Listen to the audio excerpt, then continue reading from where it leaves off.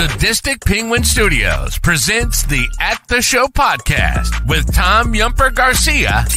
Okay, you people sit tight, hold the fort, and keep the home fires burning. And if we're not back by dawn, call the president. And Tony Chalsa Burt. I don't know this industry jargon, YP, MP, whatever, okay? All I know is that I cannot get a record contract. We cannot get a record contract unless I take these tapes. It's almost time. So grab a drink, get your popcorn ready, and join the film discussion with two guys from Chicago talking movies.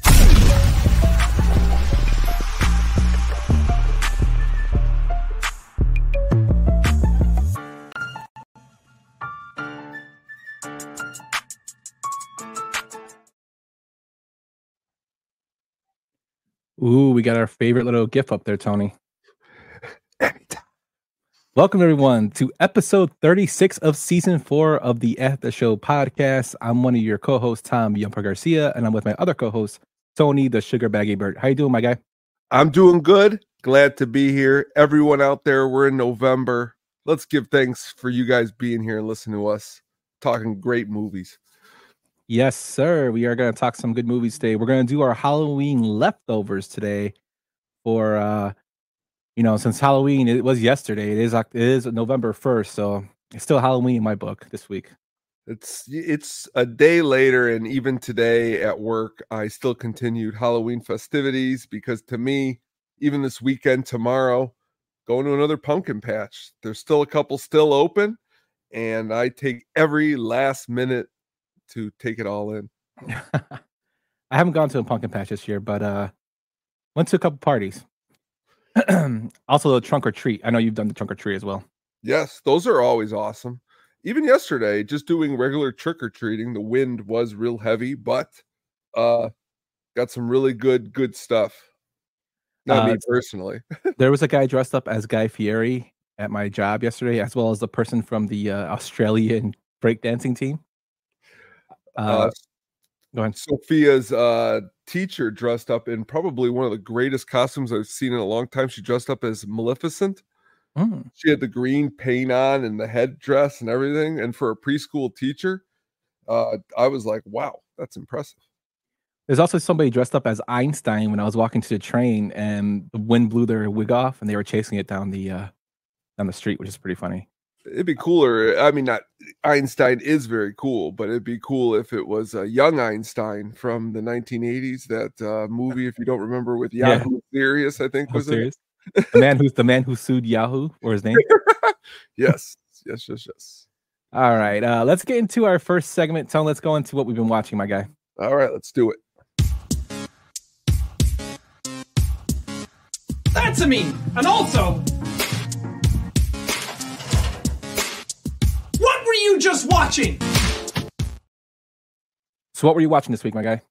Okay, first off, these are probably my two favorite things to watch during Halloween time. First up is uh It's the Great Pumpkin Charlie Brown, which if you're talking cartoons, I probably watched this one the most. I probably watched this one 17,342 times. No, I don't know. I don't know if I counted that much, but I love this cartoon because for me it really embodies everything that is awesome about well um halloween. Um it's awesome about just some great humor some great lines. One of the greatest lines in this cartoon is um the three things you never talk about are politics religion and the great pumpkin. Uh great line right there as is this one. Gee i got a candy bar. Boy i got three cookies. Hey i got a package of gum I got a rock. Now, you know me, Ump. I love music. Um, for me personally, I just got done doing the 31 days countdown with different songs.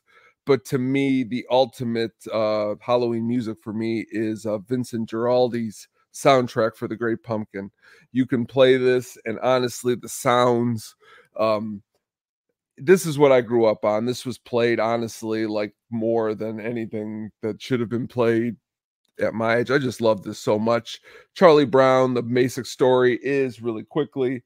Charlie Brown is um well, he is uh is is trick or treating. A great pumpkin is involved, meaning that uh, you know how, how do I explain it? Um, the great pumpkin is a myth, and um, Linus uh, sits in the pumpkin patch all night waiting for this myth to show up. There's a great Halloween party where Charlie Brown is involved. It's a great time. I just love this movie, and Snoopy is the ultimate OG with the uh, his little uh, um, Woodstock. How could I forget him? Because he's named after uh, the great festival or town. So very cool um, little cartoon. What do you think of the Great Pumpkin? Uh, I love all peanut stuff. Uh, I do get kind of pissed that they treat Charlie Brown like trash. Uh, Lucy used to irritate me when she pulled the damn, you know, football from him. I, I love the Family Guy thing. It's one of the few Family things, Fat Guy things I find funny is when he uh, is does the Roadhouse skit and he just starts kicking Uh-huh. the shit out of her, and so you will hold that football for Charlie Brown.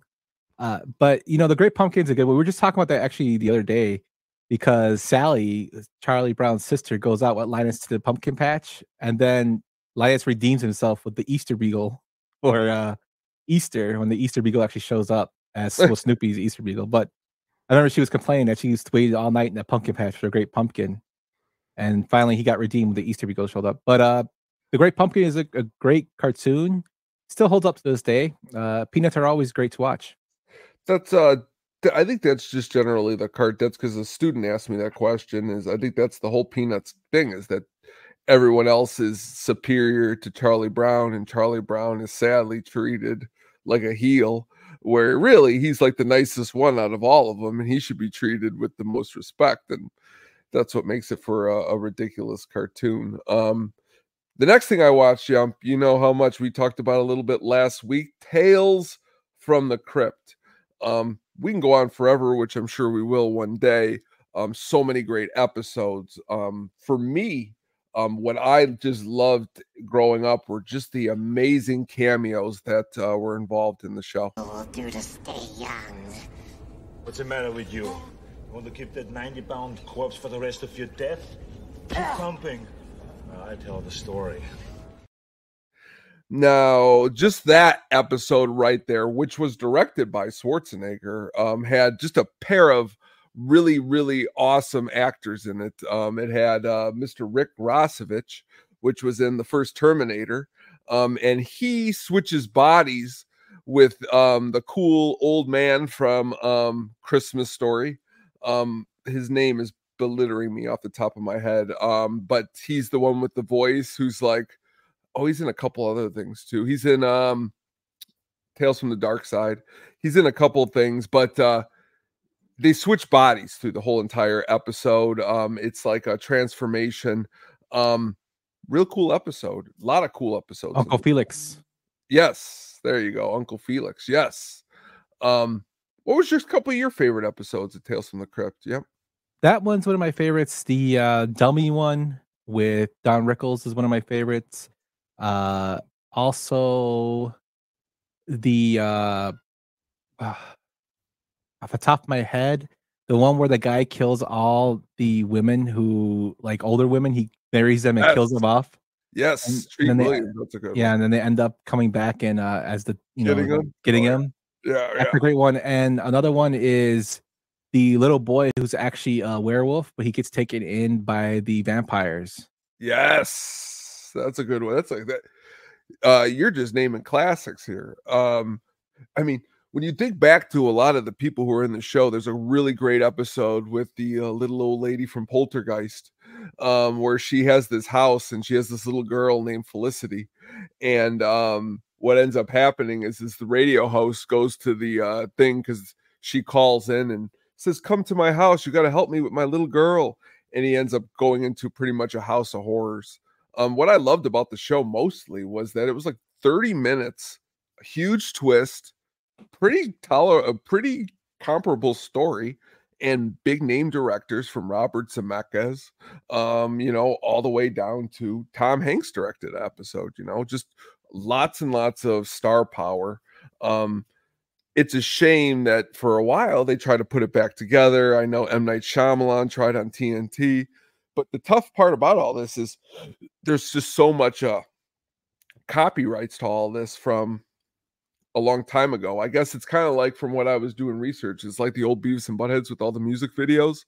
Back then, they were able to play those music videos with the Beavis and Butthead because it was MTV. But then when they started doing the DVDs, you couldn't put the music videos on there because you had to go get the licensing and all of that. So, um, but I just love that concept, and I really wish something as big as that was back in the time on something like HBO Max, I think would be really cool. Yeah, it really would be cool. Uh, I wouldn't mind uh, a newer film coming out, like around kind of like a feature film, but I don't know. I don't know. Maybe it's best sometimes just leaving the classic the classic it is because we're just getting sometimes a little too much remakes and maybe we wouldn't like it. Like just this week, they just announced a couple days ago a cliffhanger remake is coming. Um, and Sly will not be involved with it. I know you're very sad being a Tusk. Like 80. but he could play the Lithgow part, maybe. I don't know. I don't know. He's like Uh, 80. Uh, well, again, he's going to probably be in another Rocky or Rambo before it's said and done. So, um, that being said, what have you? wa- Oh, speak of the devil. You know what's ironic is again, I didn't even realize one of your picks was. Well, go ahead. Yeah, so this week I actually watched the Sly film. So I did the 31 days of horror. So I watched horror movies the whole month. Uh, even when I was editing, even when I was doing other stuff, I watched them. I had them on when I was working just to kind of get ideas of how I want my. Whenever I do a video, I have it like picture it in my mind and I figure out what little bits I want to put in. I'd like to watch the movie and then go over, you know, what parts I might put in the video and then what little humorous, stupid, dumb things I think are funny I put in there at, with my script. So I watched a ton of horror movies this year. So I kind of wanted to cleanse the palate a little bit and watch a little bit something different. So I went back to an old favorite of mine, the uh, classic that should have been nominated for many Oscars, the Taco Bell war-winning movie of uh, Demolition Man with Sylvester Stallone and Wesley Snipes, which is hilariously bad, but so bad it's good. Well, I'll be really honest with you. Again, I hate to. It's it's almost like sometimes like you grew up in the house, the same house as me, because this was another one, man. I mean, I I keep thinking of what was the movie that my dad played the most, and man, he loved Demolition Man, and like to the point where he would have honestly said a kid he everything from the shells all the way down to the Taco Bell to honestly, Wesley Snipes does a great job in this movie. Um, really, really good job. And me being exactly the age I was when this came out, this was my wheelhouse. I mean, it was like, and now of course you look back at it and is there's some cheesiness to it, and it, there is, you know, I like Sandra Bullock, but you know, there's just some things that maybe I could have switched around, but a great fun movie. I mean, a great fun movie. Oh yeah, I mean, there's some cheesiness to it, but it's got a lot of nostalgia to it. Mhm. You know, you have, of course, uh, Sylvester Stallone, Wesley Snipes, their first big matchup, uh, which is kind of funny because Stallone really wanted Jackie Chan to be the villain. And in Asian cinema, if you're a hero most of the time and you become a villain, they recognize you as a villain from then on. So he didn't want to switch over to be a villain, which is why probably Jackie Chan's never really played a villain in any of his movies. But uh, you know, it has like even Jesse Ventura's in this film. He plays a little small part as one of the guys they bring back. You know, you have the guy from Beetlejuice, uh, Otho is in here. Otho. Yeah. Uh, I it's- love Otho. you know, Denis Leary's in here with his uh wants to rub jello all over his body and run around naked as he talks about. You know, they eat a rat burger. So got a lot of classic stuff in it. at this time, I mean, me not knowing really anything about food, I mean, Taco Bell was one of my favorite things. So, like, seeing Taco Bell in this movie, like, wow, it's going to be a restaurant one day. Um, that was kind of cool. And um, a lot of memorable quotes. You know, I mean, the movie's loaded with, with classic, memorable quotes. Be well, yeah. uh, and the second movie I watched this week, you know, I trashed The Crow. Yeah, nothing beats a good rat burger, Jack. I trashed The Crow remake. I didn't really like it. Uh, so, and I did say that Wicked Prayer was better. I went and watched Wicked Prayer, and I barely got through that. Uh, but I will say, I still prefer it over The Crow remake. so, And crazy thing was the thing that kind of caught my interest for this film, The Crow Wicked Prayer, was that apparently DMX had talked about reviving the series or the uh, franchise, and he wanted to have himself be a record executive who got killed by another Mongol who was going to be played by Eminem, and he was going to come back and try to kill him. That would have been a pretty awesome uh, crow, as DMX would have been the crow coming back. But uh, you know, it was about to. Was, I think it was going to be. Give it to you. Yeah, he was going to be called the Crow Lazarus. Ooh, interesting. So he was killed. Maybe he was trying to do the uh, early like play off the you know the deaths of Tupac and Biggie, maybe something like that. But Eminem was supposed to be the bad guy, and everybody kind of pretty much hated Eminem at this time in 2000 because of the stuff he was talking about. But that'd been kind of cool. But yeah, I, I, definitely prefer the Crow Wicked Prayer over the Crow remake.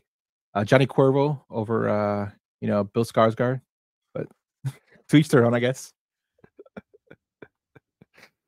I uh, always remember uh, a buddy of mine was like, "You should come over to my friend's house. Uh, we're gonna watch this movie." So I was like, "Sure." Where's he live? And he let me know, and I went over there, and I walked in, and the movie had already started. This was the movie, and I never really wish. Like usually, I'm one of them uh, in my mind, at least. People, you know, I, I'm telling jokes, watching movies.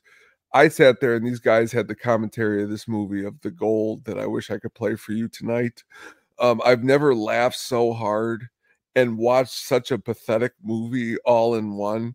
Um, but you know, I'm with you. I could see that I would still enjoy this one more than the new one because what they did to it, what they did to my boy, what they just just what they did. And and honestly, with this one, even with the box, see, I love Edward Furlong in movies like Brain Scan. So like or Tara Reid in American Pie. So I could be like, okay, this is cheesy enough where I can enjoy it for them. That other movie, I like Bill Skarsgård in it. There's nothing he's cheesy in, so watching him in The Crow doesn't give me that same cheesy feeling. So that makes sense. Yeah, I mean, in this one you got uh Tito Ortiz, you got Tara Reid, like you said, uh David yeah. Boreanaz from Angels in there, Danny Trejo is in this one, Dennis Hopper is also in this one.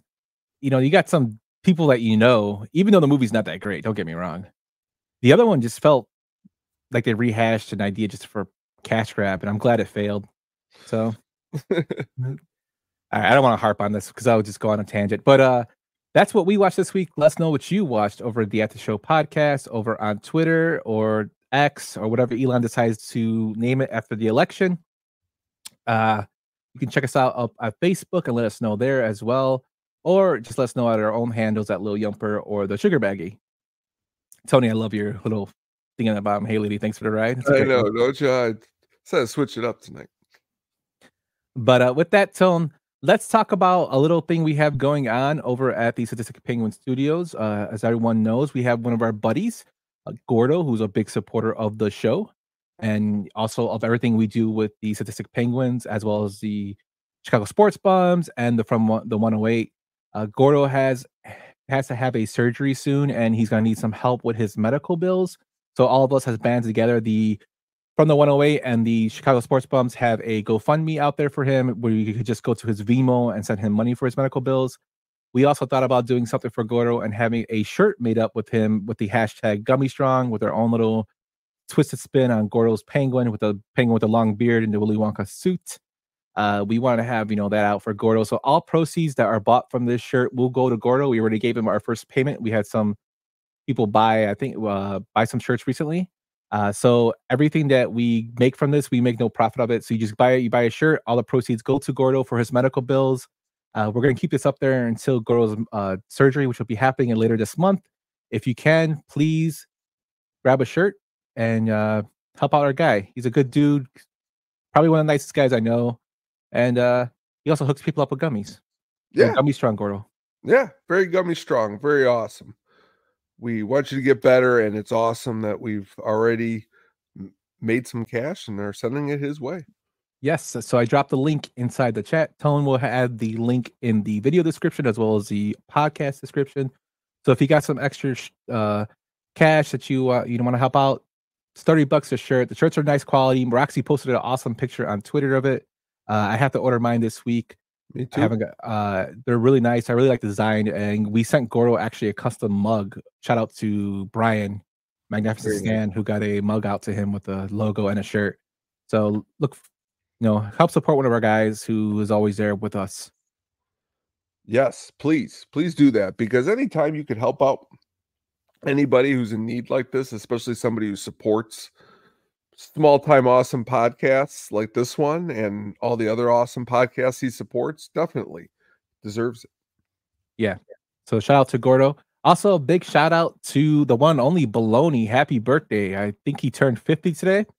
Uh shout out to him for his 50th. I know he had the uh Bums happy hour earlier. I caught a little bit of it. Uh, I actually took a nap, so usually during that time I'm having a nap time because I'm an old man. But shout out to Baloney. Uh, we love you, buddy, and happy birthday. Yeah, uh, watch a Marvel movie on us. Uh, but with that tone, we're gonna get into this list of films that we got going, my man. We said that the films would be about some Halloween leftovers, so we picked some films that are some horror films that basically you might know and you may uh you may not know. I picked two films that are foreign, so usually we do when we do the old format, we have a sound clip played. So for two of my picks, I'm going to have to do a video clip because one is in Korean and the other one is in Spanish. Uh, I know we do have Spanish speakers that listen to the show, but I don't know if we have any Korean speakers that listen to the show. But uh, just to be fair, if you want to see the clips, check us out on the YouTube at Sadistic Gaming Studios on the YouTubes if you want to see the clips. But I will play them. They're about six and eight seconds long uh, for those two clips. And then we have, you know, the usual list of 10. Tone, you ready to get to this? Let's do it. Cool. Let's start off with our first film here.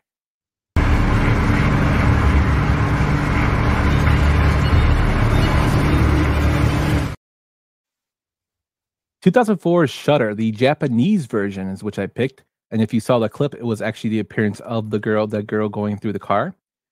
The film was directed by Banjong. Excuse me my pronunciations here, people. Pissa Takunen and Parpum Wanpum. I don't know if I said that correctly. I'm sorry. Starring Amanda Everingham, Nata Rinrich, Thongmi, and Achita Sikamana. It had a box office of 6.9 million. Now, if you followed me for the 31 Days of Horror this year, I actually did a video on this. The reason that I picked this film is because one, the American version gets talked about a lot with Pacey from uh, Dawson's Creek. When you first brought it up, that's where I thought we were going. I'm like, wow, yeah, I know that. No, no. And then I got to, we'll get to it. No, keep Yeah. going. No, uh, so that one is not as good as the original. You know, sometimes the American versions are decent, like The Ring was a good, The Grudge was actually a decent remake for the American version uh, audience. But this one, I think it does it better in terms of the horror with the girl, you know, the all around story of a guy who is basically haunted by a woman that he doesn't know why. Him and his girlfriend, she they think they hit her on the street in a car accident, but in reality, there's a big twist at the end of why she's following them. Uh, she appears in their pictures, she haunts them, she terrorizes them, and it basically goes through, you know, their trials and tribulations of trying to get rid of her. Uh, has one of the best twist endings, I think, for horror films, in my opinion, that I've seen. And it's nicely shot. It gives you lots of suspense. It builds on a lot of, you know, you're thinking she's going to come and then she's there. Uh, it doesn't have a lot of gore in it, which is kind of cool that you can have horror without gore, even though she looks kind of jacked up. Uh, but you know, it's kind of depressing as well. It has a nice little story to it. If you haven't seen it, I will recommend checking out the Shutter Japanese version, uh, the Korean version.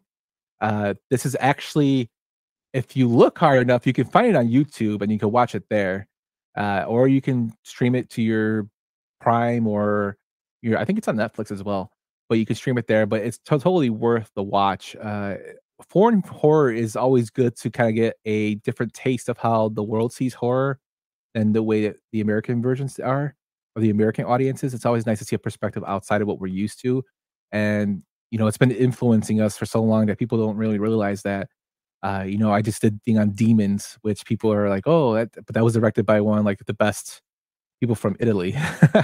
so it's always cool to check out foreign horror. This is a good one to check out. Tone, have you? I'm guessing you haven't seen this one. Let me just start with your amazing 31 Days of Horror. Um, starting with demons all the way out you pretty much was banger after ba- like Seamus banger after banger after banger. I mean, you like movies like and honestly, I had never seen Demons before, and I had never seen this before, and I had watched both of them since watching your videos.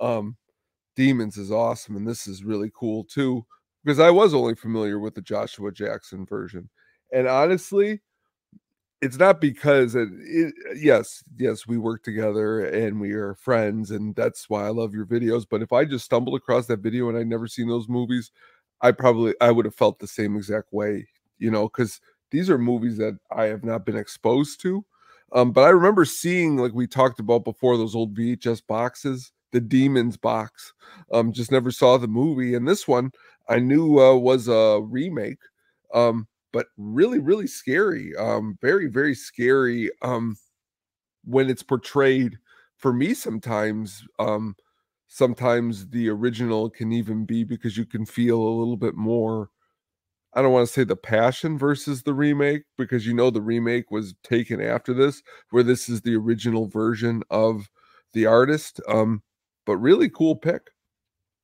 Yeah, if you the originals always seem to be better. Uh, it's very rare that the you know remakes are better, but they do kind of hold up depending on how they're done.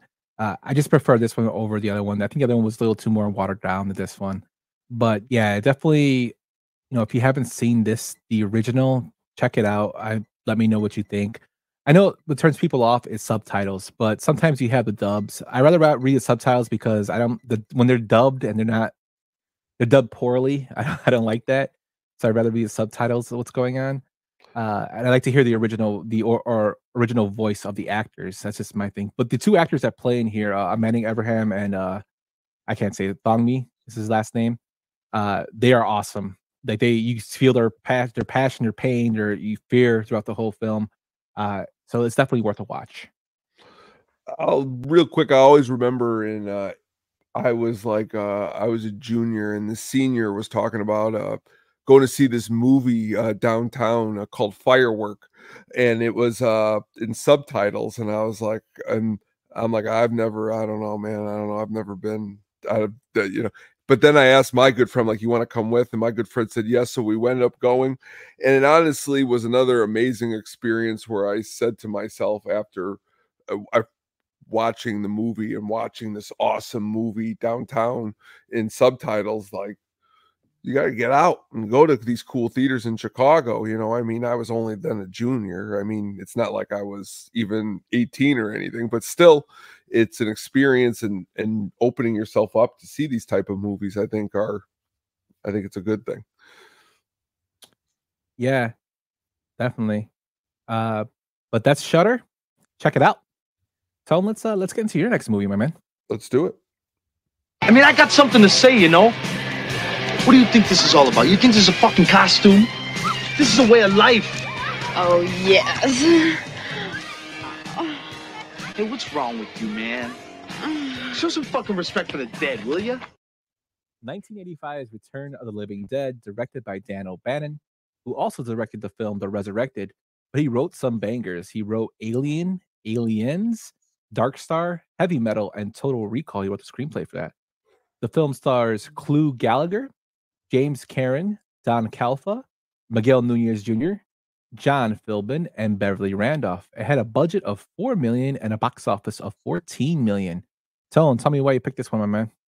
oh it's got everything music which i love the soundtrack the punk rock soundtrack is amazing um for a zombie movie um what i like is that it's i like the cheesy aspects of it i love the brains the uh just the the overall um the i don't want to say cosmetic what are they uh the gra- the way the um the art department got together and was able to really put together Creature effects. the way that yeah the way the creature effects look especially in like when they're in the graveyard um then of course you've got just the interaction clu gulager does a really good job in this movie um and just really brings out a lot of the uh i think one of the my favorite zombie movies personally because it's it's got it all it's not super serious like the original uh, Night of Living Dead, but then it's not like super, super, super, super stupid. Like maybe uh, I can't even think of a super, super stupid one off the top of my head. But this one is one that I enjoy because, especially the music mixed with the zombies, definitely got to see it. Yeah, and the crazy thing is, John A. Russo, who worked with George A. Romero on The Night of the Living Dead, the original in '69, he was one of the writers for this film. And the reason they broke up from their partnership was because they both had different ideas on how they wanted to do a sequel. Of course, Romero went with Dawn of the Living Dead, which is an awesome film. Uh, I actually like that and the re- and the remake, which are I mean the remake's not as good as the original, but I like both of them. Uh, but you know, this film was Russo's idea, and this is one of the first. Actually, I think I believe this is the first film where zombies actually talk. If you want to count White Zombie, I think it's more of a you know uh, hypnotizing with Bela Lugosi back in the day. But this one, you know, the zombies actually talk and tell you what they want. Uh, the creature effects are awesome. I believe Tom Savini actually worked on these as well. Uh, Tobe Hooper was actually you know, in talks to direct this film in 3D, which I think in 3D Ooh. it would have been kind of crappy. But you know, this film holds up today. I love the punk rock aspect of it. You know, I love all the characters in here. Miguel uh, Nunez, who you might remember for Juwanna Mann, he's also in a bunch of other films. He was homeless during this, and this was like his one of his first big breaks. You know, got him to go out there. Uh, I love the fact that they had a nice little backstory of this toxin that basically brought them back to life. And when they burned the bodies, it you know it went and spread to the graveyards. It's just cool to like the whole uh you know creature effects of it. Like they're showing a picture right now of the they call him Tarman, which is a collectible figure. You know he's renowned in the horror circles. It just has that everything you want in horror comedy, scary. You know it has great story, and it's something you can still watch today and it still holds up. Uh, it's not what you would put with your kids, but it's an adult comedy that you know, go, adult comedy horror that you would like. And I thought it was really, really well done. And the crazy thing is, when this film came out, some people are like, "Wait, is this the sequel to Night of the Living Dead?" Because it had Return, and no, it wasn't. But it was a nice ploy to get people to go watch it. Yeah, I mean, again, as Dawn of the Dead feels like late seventies, this feels like eighties. Um, the soundtrack is kicking and again the costumes not even the zombie costumes but just the costumes of the north like the mohawks and and, and cool cool uh chains and and all of that it's i remember specifically i had never even seen the movie and i had had a lot of moving and, and, some of the first kids that i talked to going into eighth grade moving from illinois into indiana they listen to punk rock and the movie they talked about was this movie because to them it, it, it em- emphasized how awesome punk rock was and that mixed with as you stated the creature effects. Really cool. Yeah it's the creature effects are awesome in this film. Uh, I also found just when doing research that the uh, filmmakers had got, had to get approval from Lysol uh, to have Frank spray away the stench of death with their product they like the idea that Lysol will kill any conceivable or odor. So they're like, okay, that's cool. So they gave them got some advertising there because it nice. smelled so bad when they were spraying. The creature effects are awesome in this film. Watch this film just for that alone. Like yeah. it's totally worth it. One of the most famous scenes is probably not just Tarman, which is what you have right now, but the scene where they have the zombie strapped to the table and she tells them why they uh oh, yeah. why they're living and what they're looking for. And she basically says that they want brains because it cures their pain it's a really cool scene uh, when half the body's up. And also, you know, the, just the uh, the effects of like the half the body guy that's walking around that they hit with a flashlight, little stuff like that. It's a it's a good film to watch, uh, and it still holds up. Great graveyard dance scene too. Yes, yes, great graveyard dance scene. Uh, so check out Return of the Living Dead. That's a good pick, and I was really happy when I saw this one. Awesome, thank you. All right, my friend, let's go into our next film, and here's the clip for this one. Ooh, no sound came with it. Redonkulous. But that is a film called The Skin I Live In, which was released in 2011, directed by Pedro Almodovar, who directed Parallel Mothers, The Room Next Door, Pain and Glory, and Volver. The film starred Anthony Banderas, uh, Anthony Banderas Antonio Banderas, Alina Alena, Jan Cornet, and Marisa Paredes. The film had a box office of 33 million and a budget of 10 million. The reason I picked this film, another one I went through for 31 Days of Horror, but this film is masterfully shot because it is not a horror film that does like a lot of serial killing or a lot of slashers or hauntings. It's basically a film that basically goes into ethics and paying a penance for what you did. Uh, it goes into a base a plastic surgeon who had lost his wife and something bad happens to his daughter and he decides to take revenge on all that by recreating his ex-wife uh, you know his deceased wife and i won't get into too much you know detail on who he does it to but and why he does it to them but it's basically if you had a person with no you know no moral ethics for being a doctor and being able to do what they want and having people being able to do what they want you know what would you do? What would the world be? I mean it's been rumors about people doing this now and you know quack doctors but this guy was actually working on synthetic skin to help people and burn victims and whatnot and he used that good for bad which it can happen in the medical industry. It makes you think. It's really really really good in terms of psychological horror. Banderas who is usually known for having ticks and whatnot when acting was told to drop all that. He was told to be as menacing and as cold as he could be and he's a complete asshole in this film. Uh, he plays like his role masterfully. Again, this film is in Spanish, so if you haven't seen it, you know I greatly, greatly, you know, encourage you to watch it. It does have dubbing, it does have subtitles again, but it's another film that like Almodovar does a great job of pushing horror on you, and you really, really, you know, feel the victim's pain in this, as well as the, you kind of feel a little bit sorry for Banderas as well when you learn his backstory but it's totally worth you know watching. Have you seen this film, Tom? Um, I saw it when it first came out. Um, I went out. I think there was a while where I saw every Banderas movie um that he was putting out. Um, and this one, I think what drew it to me was actually the box when it first came out. But then when you uh, brought it back to me, and honestly, I saw another great video that you did.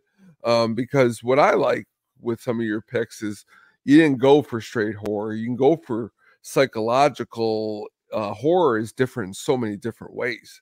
Um, to me, one of the scariest movies for me would be uh, like a, a, movie like Apocalypse Now, just Martin Sheen, what he goes through, but that's not horror. You know what I mean? So like, I understand exactly what you're saying. The performance of Antonio Banderas is is really really good in this movie. Um, as they are in a lot of his movies. But as you said, um, I like menacing uh, Antonio Banderas. I like cold and calculated Antonio Banderas, and he pulls it off very well in this movie.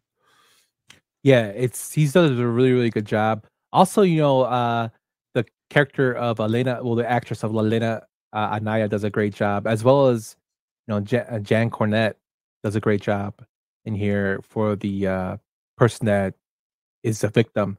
It's a great it's I, I, love the prosthetics in here. I love the way they made the person look when you know you're showing a great scene of how they have the plastic over her face to make the transformation going and you see him cutting and it's just crazy like even when you find out the story you're just like damn that's really really fucked up and in the end it's kind of like stockholm syndrome what happens yeah you know uh and they finally get turned but but I don't want to give too much away. But it's it's just out there. You have to watch this film.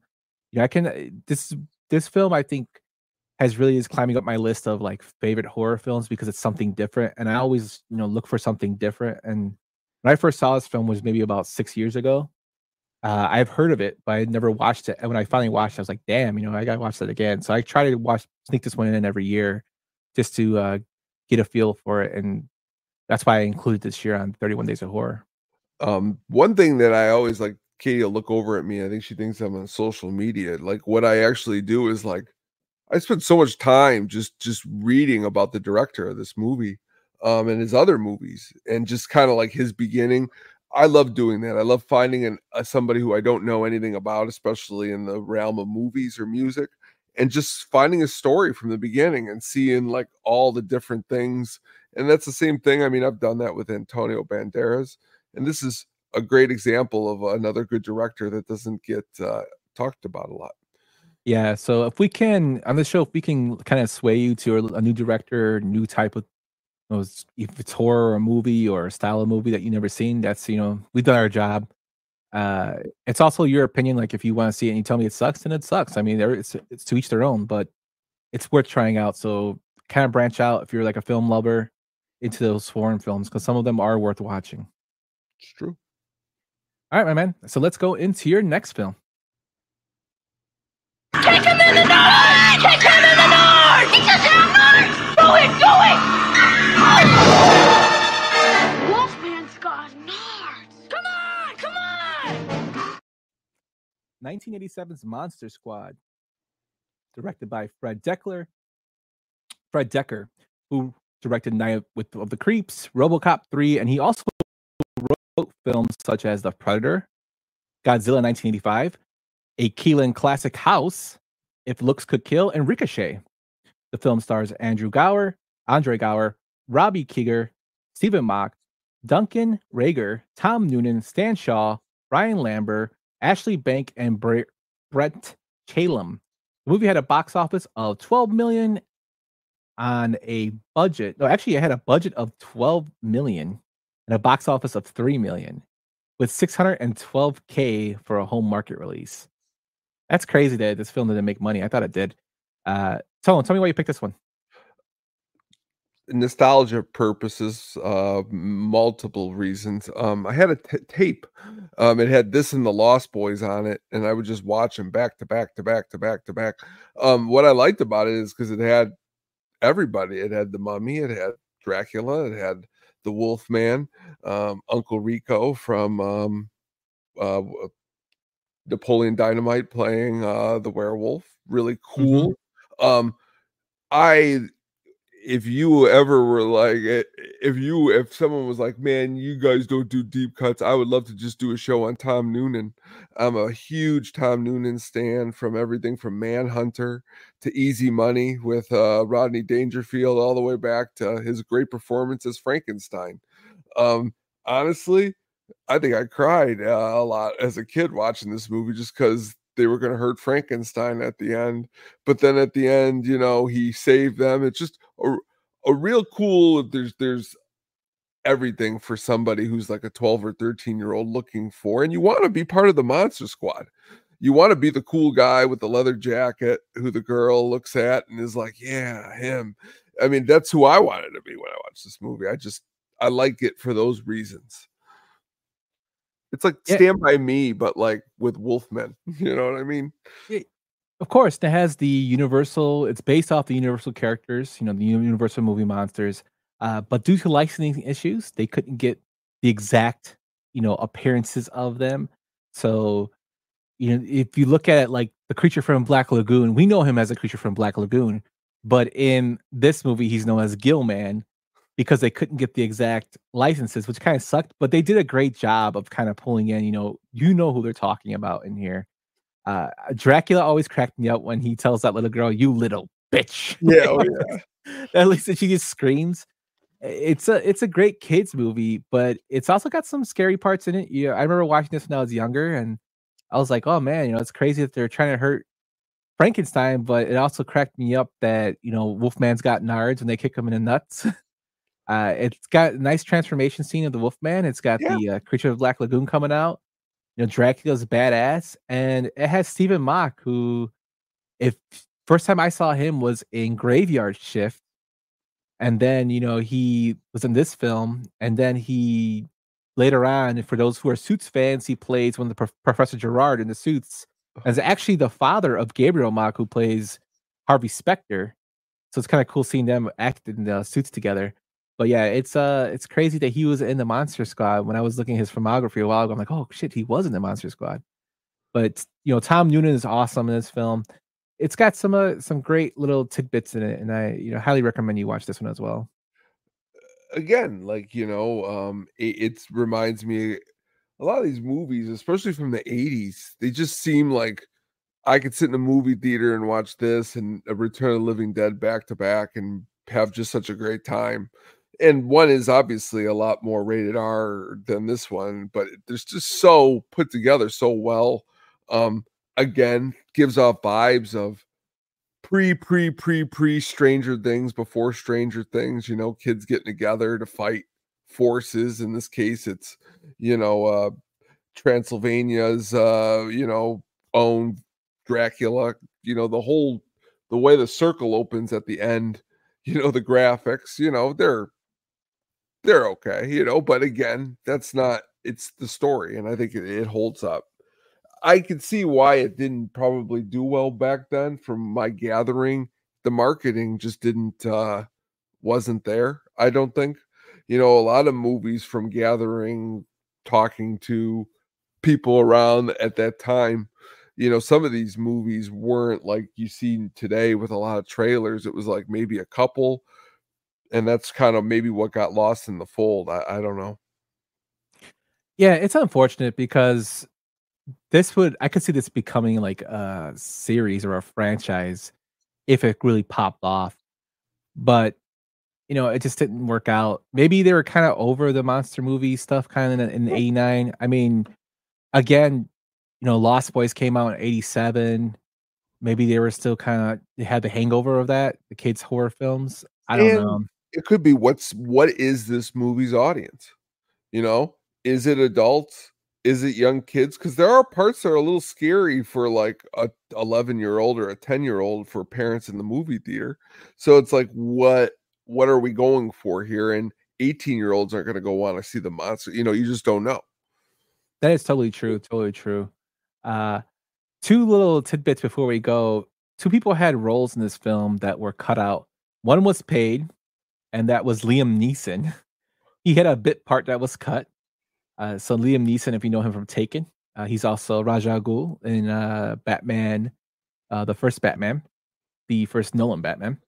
And then Dustin Diamond Screech had a small role as a kid who tries to trade baseball cards with the boys, but that was later cut as well. so two uh two iconic people in their own right were in this film and their thing was cut. But if you haven't seen the Monster Squad, check it out. It, it still holds up today. It's a cool little film. This is a film you could actually could watch with your kids, maybe a little older. It does have some scary parts, but it's mostly like a family movie, and I, I recommend this one as well. But Tone, let's get into our next one, my man. Let's do it. This thing, it's gonna follow you.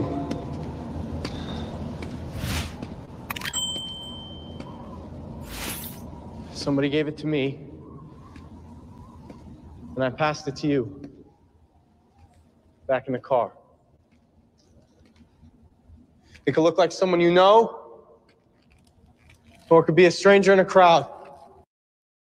2014's It Follows, directed by David Robert Mitchell, who also did The Myth of the American Sleepover and Under the Silver Lake. This film stars um, Maika Monroe, Keir Gilchrist, Olivia Luccardi, Lily Spivey, and Bailey Spry. The film had a budget of around a million dollars and a box office of 21 million. This is another one of my picks. I again I did this for 31 Days of Horror. It seems like I'm just picking movies from that, but this is a film that again, I wanted to when I was doing this list for leftovers, I wanted to do stuff that is not really talked about a lot. This film is another film that is not really talked about a lot, and it has a cool concept we talked about Smile 2 uh, last week with Keelan, and we kind of went over the original Smile. You know, that kind of concept of having an ST follow. This kind of has that kind of concept with it, but this one's actually passed sexually to, and the entity doesn't just run up on you, it follows you slowly, which makes it even creepier. You know, you, I love the way that David Robert Mitchell shot this because there's certain scenes where they're just panning the camera and you see people walking very slow and you're like well is that it is that the entity or not you know you, and then you have those scenes like the beach scene where they, the kid breaks through the uh the hole in the door and scares the shit out of him or you know the uh, old lady or even the beginning is awesome where she's running from it and you don't see it right away just stuff like that and then you find they find her on the the beach all messed up it's awesome that the way it builds tension and also the score by disa- Disasterpeace for this film is fucking phenomenal. I would play it, but we but we'll get copyright for it. But watch the, if you like music, like score music, the score for this is really really good. Tone, have you seen this film? Yes, uh, me and Katie went to the movie theaters and saw this one, and as you stated, it's an original piece of horror work here. Um, definitely like what they were doing with this one. Um, a lot of good performances inside the movie too itself. Um, the camera work is, I think, one of the greatest stars in the movie. The cinematography too, I guess you would call it, the way that they are using the camera, um, highly innovative. Yeah, extremely. And like I said, you, even when it pans or the blur of the camera, you see like something walking slowly. That's one of my favorite parts too. And that you just showed right now, Tone, is the uh the tall guy, it. You know, the very tall it they call him. And that person is named Mike Lanier, and he actually is seven seven. Wow. And he's one half of the world's tallest twins from Detroit. His twin Wow. brother at seven seven. Yeah, so that's ridiculous. Uh, and you know, you some you can't see what's going on, which is kind of like a you know precursor to smile, but it's just a totally different kind of concept of this is passed on. So actually, there's no way to get rid of it. While smile, you have to witness something. But I like both types of films. I think this one was done really well. I'm also a big fan of uh, Maika Monroe, who was in Longlegs. I know some people don't like Longlegs. I actually liked it, and I liked the way she, you know, her two characters in both films. This one, she's a little more outspoken. But in this film, like you said, the cinematography, you kind of looks like you're going through a dream. The way they go through the city of Detroit, and then they go like they find, you know, when they see the entity and whatnot, you see it's like you're going through like a dream world, and that's what's kind of cool about it. Just for cinematography, and I think the score alone, it's awesome. Uh, you might be like, "Why are you laughing?" And I thought about one of your videos that you did, and it was like, "Yes, oh, it was people under the stairs," and you're like, "Got serious mommy and daddy issues." yeah, mommy. mommy, daddy, long legs. I love long legs. Yeah, I threw that, I threw that, I threw that in there for uh, Keelan. That you haven't good. seen that one, I, I texted her too, and I released it. I'm like, there's a little Easter egg in there for you, and she like laughed. That was really good. Yeah, uh, I throw in Easter eggs for like people that we talk to. So Yeah. sometimes a joke might like be like the uh even that one, the P the Fool, Oh yeah, the Mr. T. I threw that in there for Brian because I knew he was gonna he would laugh at that one. good Uh, stuff. Good stuff. But yeah, but back to this film. If you haven't seen this one, definitely check it out. It's kind of crazy that a lot, you know, David Robert Mitchell hasn't really done anything since you know Under the Silver Lake. He's working on stuff, but these concepts of horror are really good. Uh, new concepts, new ideas. I think this is kind of like changing. Even Jordan Peele, I might not like all his movies, but just something different is something good, and that's where you'll get you know the change and where horror is heading in that direction. You need new, new direction, new stories, new ideas, and that's all film. Like we're kind of getting that abundance of uh, remakes, but get that new new blood in there to check it out and have people experience. So this is a good film to watch. It's creepy, atmospheric, uh, and so like again, I can't stress how great the cinematography is uh, for this one. you know, and I don't, you know, know if he was right or wrong, but to to go what you were saying of new and fresh, even today, Quentin Tarantino said, uh, "I'm not going to watch that new Dune.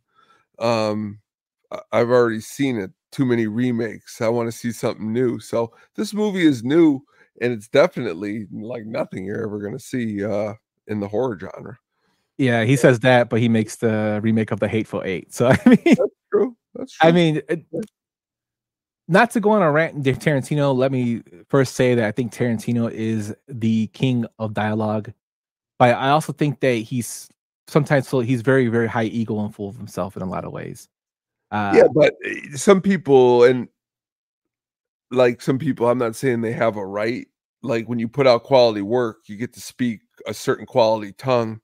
Um, and it- I'm not gonna. You said earlier, which we could have talked about. You said the Family Guy's only got about two good jokes. That's that's a Mhm. highly false. I- I- For my personification, each episode might only have two, but the whole series has got a lot of funny stuff. Now, the guy who makes it is he sometimes an A jag? Yeah, but that's like they really go after like some people and they actually speak some truths. Like John Travolta the other day, they made a crack. I had it on TV about it was pretty honest. It wasn't the nicest, but you know, but I, I get it. That sometimes I think Tarantino uh, comes across as a jag.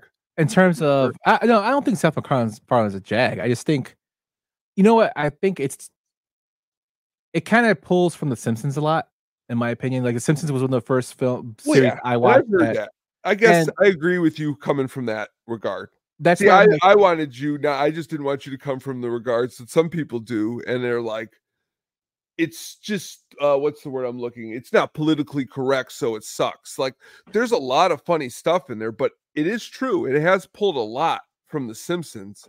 See, I wasn't a huge South Park fan, so to me, my humor leans a little more towards Simpsons and Family Guy. The Family Guy thing I think I like the most is the way the episode's going and his thoughts go to these different offshoots, which is Mhm. like The Simpsons. Um, back to Tarantino, his greatest work to me isn't like his last couple movies. They are pretty good. Um, but he does also sit in a high horse and says he's going to make this new movie that sounded incredible called The Critic and then cancel it because he didn't like something. So he is also very weird and sporadic too.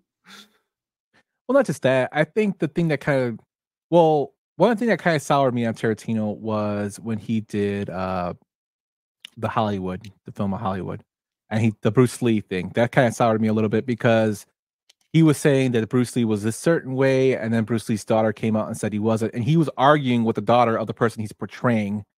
Uh, when some of the stuff he was saying was not true, stars like Jackie Chan come out and said that it wasn't true, but he was still saying this which kind of was like, dude, how are you gonna argue with that? But that's just me.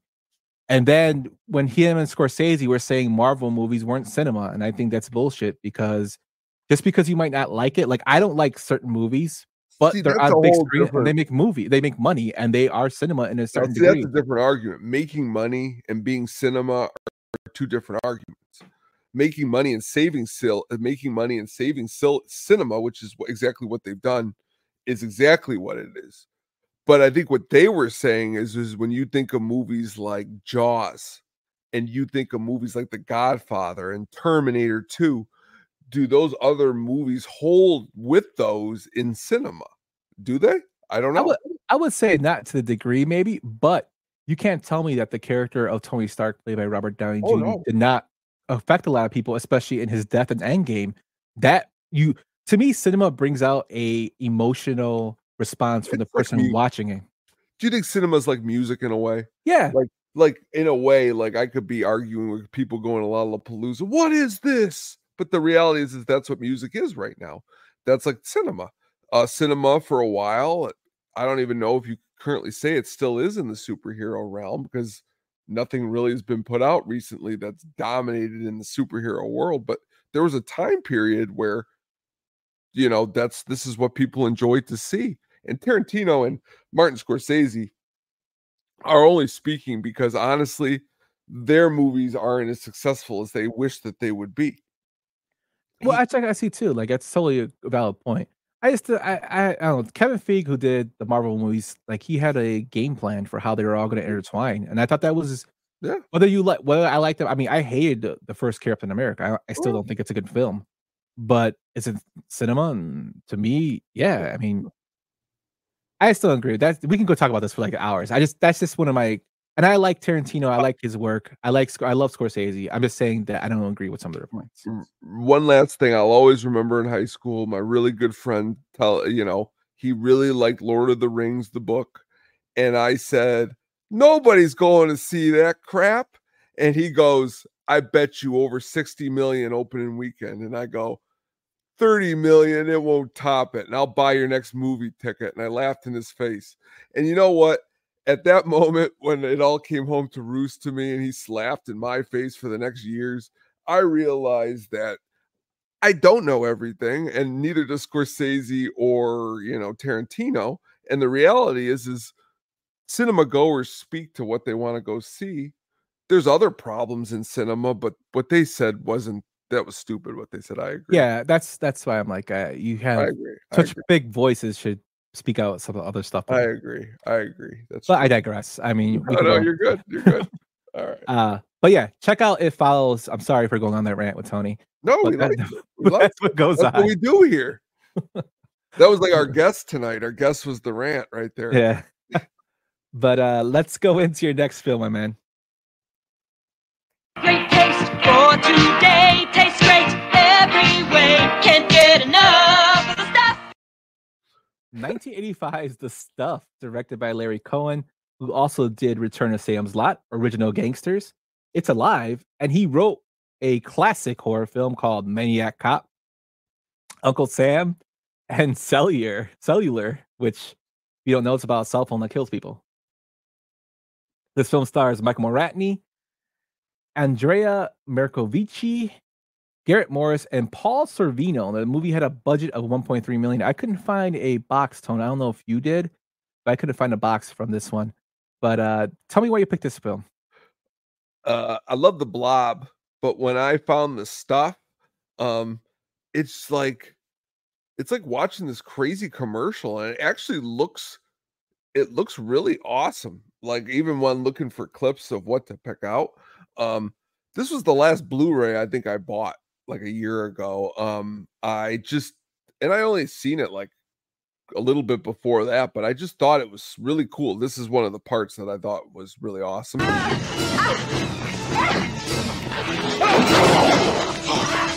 Harden on my face. Harden on my face.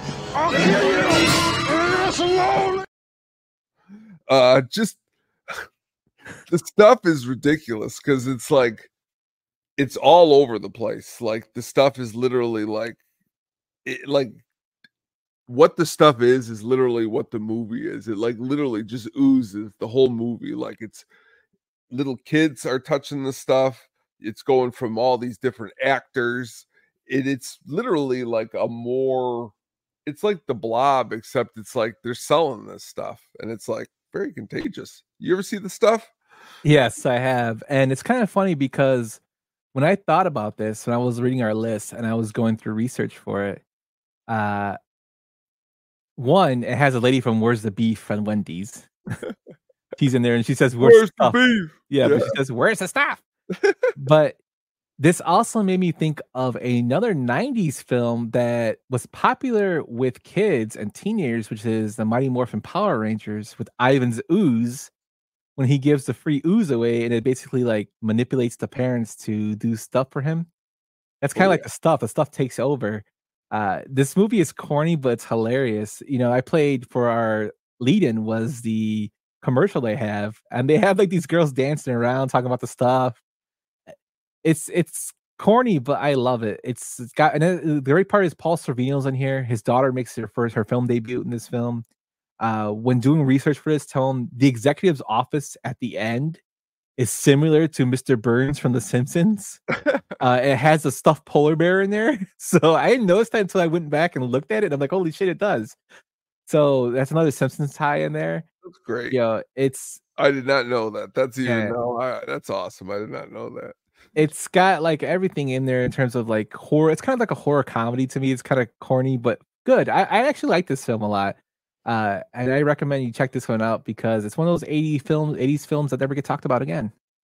You know, whenever you really, really, really want to yump, I think me and you, and I know we don't want to do a remake, but maybe to start our writing movie career, we can pump up in a weekend the remake of the stuff.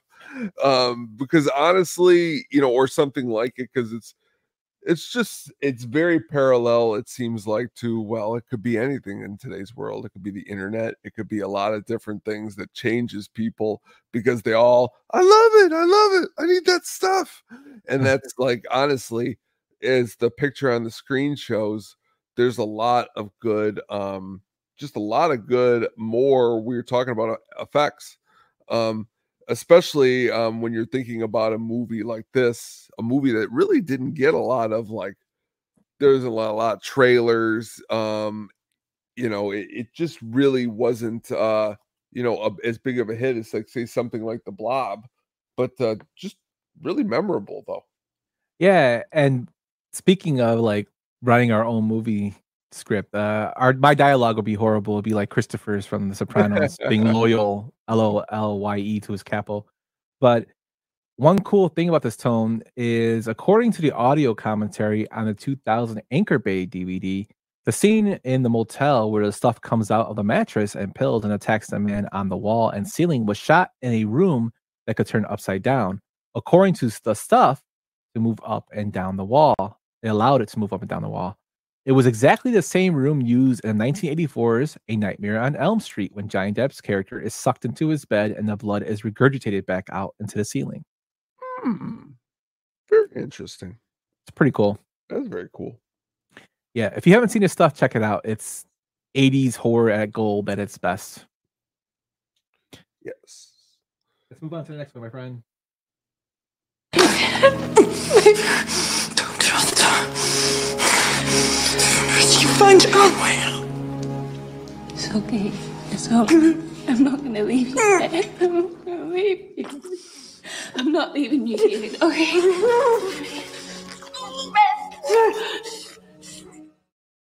2000 2005's The Descent, directed by Neil Marshall, who also did Dog Soldiers, Doomsday, and Centurion. The film stars Shauna Macdonald, Natalie Mendoza, Alex Reid, Saskia Mulder, and Myanna Buring, as well as Nora Jane Noone. The film had a budget of three and a half million and a box office of 57 million. Another one of my picks, a film that plays again off atmosphere, has creepy ass characters and creatures in it, and it's about caves. And for those who like to go exploring caves, this film scares the shit out of you when doing so. Uh, it has, you know, one of those things where you kind of feel for the characters. Like, what are they going to do next? They're in an unknown place. It's a big, it's big off atmosphere. It has a lot of jump scares in it, uh, and it makes you feel helpless a lot because where are you to go? And you know, we still explore caves. I mean, there's been stories about people getting stuck in caves and dying when they cave crawl. There's people like I think there's a person actually that died in a cave and he's still in there because they can't get him out because he's in the cracks. You know, it's horrible stuff like that. But this film kind of bred on the unknown of cave, and you have the crawlers in there that come after the people, and what are they? And it's just crazy that this film doesn't get talked about enough. Uh, it's an awesome horror film. I highly encourage you again to watch this one. Tony, have you seen this one? Uh, When you brought this one up, uh, as you stated earlier, when you were looking at mine, this was mine for years Where I was like, I forgot, I love this movie. I forgot about this one. Um, I like movies like The Descent, Green Inferno, The Ruins. Um, I love going to odd places that you're not really expecting that you're going to go, and then you end up being neck deep in something that you never we would never want to be in ever. So you you feel empathy for the characters because you're like get the hell out of there and that's exactly what this movie is these creatures down here. Um yeah very very scary. Um very gross too um this whole scene you're seeing on the screen when she's in the red um but that's what we like horror movies for we like them for these type of things Yeah, and like I said, this film was built on tension. Neil Marshall, who directed this film, went on to say that the films The Texas Chainsaw Massacre, The Thing, and Deliverance were influenced in establishing tension in the film. The director elaborated, saying, We really wanted to ramp up the tension slowly, unlike the American horror films you see now. They take it up to, to 11 in the first few minutes and simply can't keep up. We wanted to show all these terrible things in the cave drowning, dark, and claustrophobia. Then, when it couldn't get any worse, we made it worse. Marshall also said at the 63rd Venice International Film Festival that he was inspired by Italian horror films of the past, in particular those by Dario Argento, who did Demons, and Lucio Fulci. So again, films that holds, you know, foreign horror right, you know, films are inspiring stuff, and this film does build on tension. You know, uh, Lu- Lucio Fulci is known for the zombie series. If you ever see Zombie 2 and Zombie 3, that's Lucio Fulci.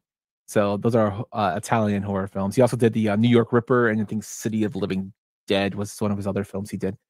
But yeah, this film is definitely worth the watch just for the tension alone. And the claustrophobia is real in here. Like even I was like a little claustrophobic watching because you're like you see how the characters did beautifully acted out too. The characters really good, you know, to get you to feel their uh, emotions and the fear they're experiencing.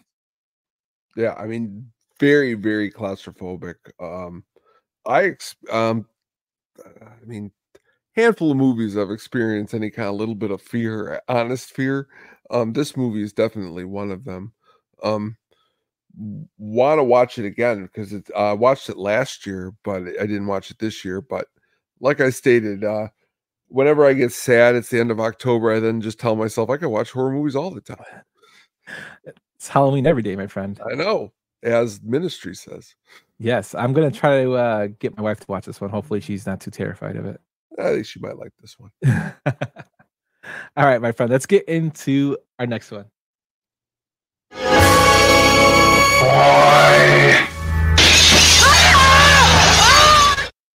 I love that that little clip. Boy.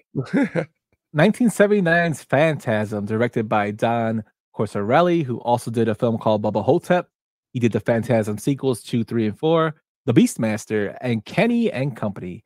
This film stars Michael Baldwin, Bill Thornbury, Reggie Bannister, Kathy Lester, Angus Scrimm, and Kenneth B. Jones. This movie had a budget of 300k and made 11 million at the box office, so it was a big time financial success. This is one of Mr. Hand's favorite horror films, Tone. So it cracked me up when you picked it. Tell me about Phantasm, my man. Um, I love Phantasm. Um, I love it because I found it. Like I love it because I'm the one who was like, you know what?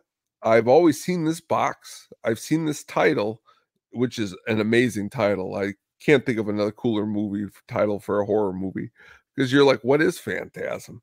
And then I bought the DVD, right? It was like, I used to have, I'll never forget, have like a calendar when the new DVDs would come out, like especially older movies that they were releasing on DVD. So when Phantasm came out, I still have it. It was like a cool box. So I bought it and I hadn't actually seen it yet. And I watched it and I was super super happy because it was everything that I'd hoped for in the horror movie. I mean, the dude who uh the tall man um with the cool hair, uh I always loved his hair in the movie. Um the he's Angus Scrimm. Yes, just the way his uh his manner is mannerisms are in the film um are scary enough. Like the way this first one is is a it's a build up. Um there's a build up. It doesn't start really super scary. And I wouldn't say it's the super scariest movie I've seen, but what it is is it's got a lot of those like mental mental thrills because it deals a lot with uh death. Um they lost their uh parents. So there is a lot of that lurking behind um the overall plot.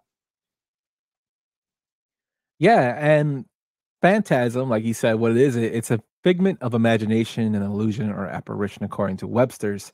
Uh, also, the director Don Corse- uh, got the idea for Phantasm, the naming of Phantasm, was because he was reading a lot of Edgar Allan Poe works, and Poe uses the word a lot in his works. So he kind of got that as his idea for the film in terms of the name. I love the flying ball.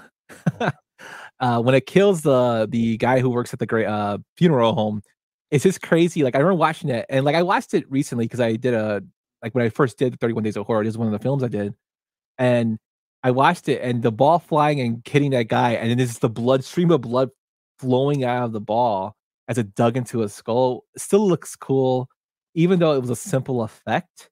Uh, they said it was a pretty simple effect of them doing it, as well as you know the tall man's finger crawling around. And Coscarelli got that finger crawling around idea from when he punched the uh, hole in the bottom of a styrofoam cup. And he loved the visual effect of his finger coming through the hole. So he's like, oh, let's do this for the, uh, the tall man. You know, we didn't talk about the, the dwarves in this film, the little dwarves. Oh, yeah. They walk around. They're like Jawas. Uh, the lady in velvet that uh, basically turns people, you know, for. And I think uh the tall man, they're aliens, right? Is that like they never yeah. really explain what they, I think they're aliens, right? That's, what, they, that's what I took from it. okay. That's what I took from it. Because it's just crazy out there. I, I this film of course is straight up early, you know, early 80s, late 70s kind of vibe.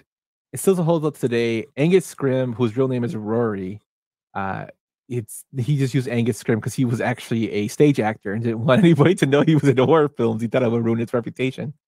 But the tall man has become an iconic character. You know, he's long past, but when you talk about like the he's not going to be on the Mount Rushmore, but when you talk about icons of horror, you know, you have the Freddys, the Jasons, the Pinheads, the Candymans, the Chuckies, and you have the Tallman has to be up there with with Leatherface. You know, they're iconic. They have their own sequels and they have their own fan, you know, fans that are loyal to them.